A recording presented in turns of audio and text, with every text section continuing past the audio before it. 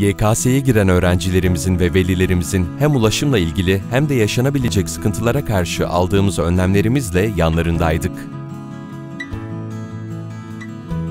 Otobüslerimizle sınav günlerinde ücretsiz hizmet vermekle kalmadık, evlatları sınavda ter döken velilerimize su dağıtarak heyecanlarına ortak olduk.